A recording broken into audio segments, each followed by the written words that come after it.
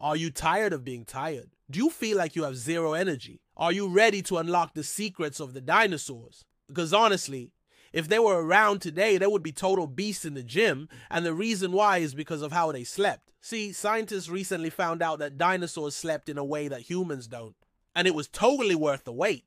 Just imagine a T Rex roaring with exhaustion after a long day of hunting and just wanting to catch some sleep. Or maybe you're imagining a gentle giant like the Brachiosaurus falling asleep after a day of munching on some sweet, sweet leaves. Well, whatever dinosaur you're picturing, I'm sorry to break it to you, but they were probably all sleeping in the same way.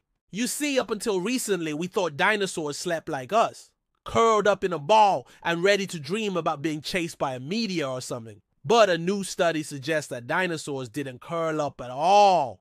Instead, they laid down with their legs wide open and their bellies up in the air, completely vulnerable. Like, can you imagine a baby brachiosaurus sleeping like this? So cute, but also kind of terrifying. I mean, look at this thing. Its legs are basically its weak point, and by sleeping like this, it's just asking to be stomped on. But it seems like it was worth the risk because there's a very good reason for why dinosaurs slept like this.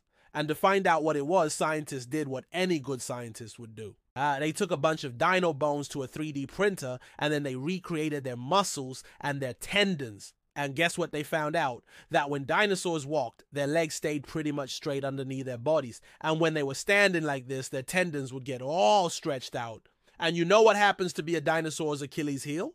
Their tendons. See, when a dinosaur was running or walking, its leg muscles would contract, pulling those tendons tight and those super tight tendons would actually help support their body weight. Basically, dinosaurs use their tendons like springs to help them move around. But here's the thing springs only work if they're not all twisted up. So if dinosaurs slept curled up in a ball, their leg tendons wouldn't be able to stretch out and then contract properly and that means that they wouldn't be able to use their springy, bouncy legs to, you know, run from predators or bouncy chomp chomp their prey.